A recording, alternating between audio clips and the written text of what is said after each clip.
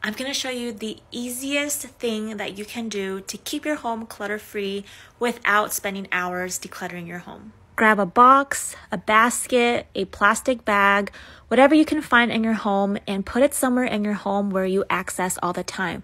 So for me, this is pretty easy for me. This is my closet. And here I have this plastic basket where I'm tossing things in that no longer serve me purpose.